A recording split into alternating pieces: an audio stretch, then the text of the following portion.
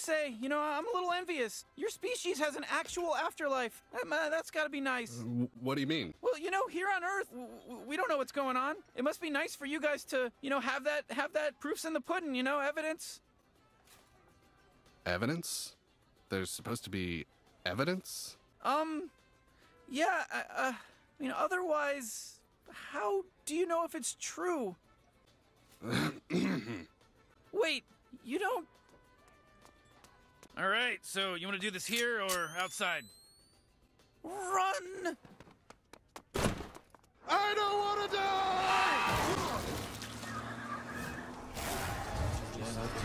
Oh god, it's all real! Oh, it hurts! Oh, I shouldn't have doubted it! I shouldn't have let you make me doubt it! Oh, I blame you! I blame